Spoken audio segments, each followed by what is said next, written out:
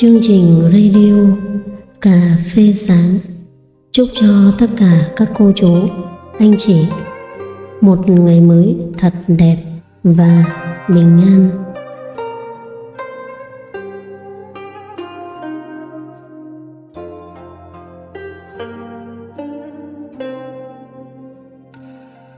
Một trăm năm sau, năm 2124, tất cả chúng ta sẽ ở bên gia đình và bè bạn trong một thế giới khác. Những người lạ sẽ sống trong ngôi nhà của chúng ta, và ai đó sẽ sở hữu mọi thứ ta có ngày hôm nay. Hầu hết đồ đạc của chúng ta bị vứt đi hoặc bị phá hủy. Ngay cả chiếc xe đắt tiền của chúng ta cũng có thể nằm ở một bãi phế liệu. Con cháu chúng ta những lớp sau có lẽ sẽ không biết về chúng ta hay nhớ đến chúng ta có bao nhiêu người trong chúng ta biết tên của cụ cố chúng ta? Sau khi chúng ta qua đời, nhiều năm sau đó nữa, chúng ta chỉ là một bức ảnh trên tường. Vài tập niên sau, những bức ảnh, những thành tựu học vấn, công danh và tác phẩm làng nhàng của chúng ta trở thành quá khứ và bị lãng quên.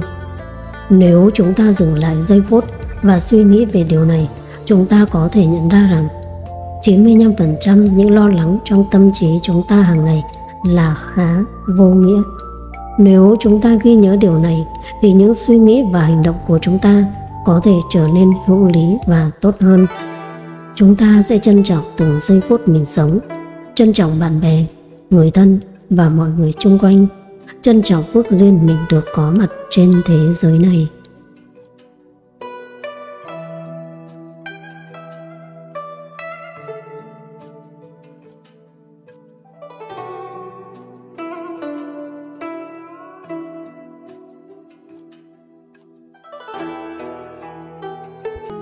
Một người đàn ông đi làm chiều về và thấy ba đứa con bên ngoài vẫn còn mặc đồ ngủ, đang chơi đùa trong sân với những hộp thức ăn rỗng.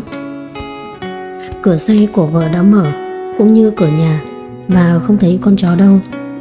Bước vào nhà, anh ta thấy một cảnh lộn xộn. Tấm thảm bị quấn sang một bên.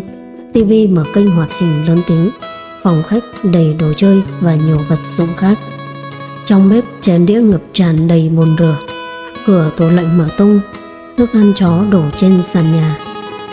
Anh ta nhanh chóng bước lên cầu thang Bước qua đống quần áo và đồ chơi đi tìm vợ.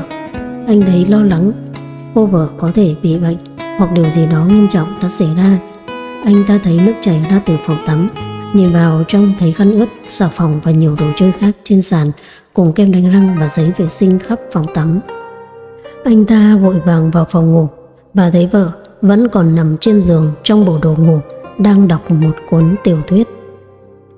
Cô ấy ngước lên nhìn anh mỉm cười và hỏi Ngày hôm nay của anh thế nào? Anh ta nhìn vợ ngơ ngác và hỏi Chuyện gì đã xảy ra hôm nay?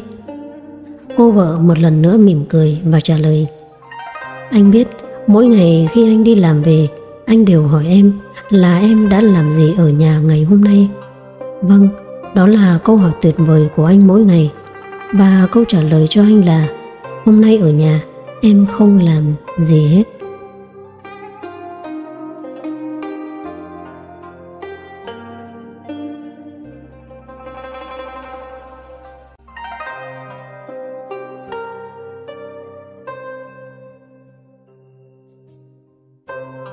Chương trình đến đây là kết thúc.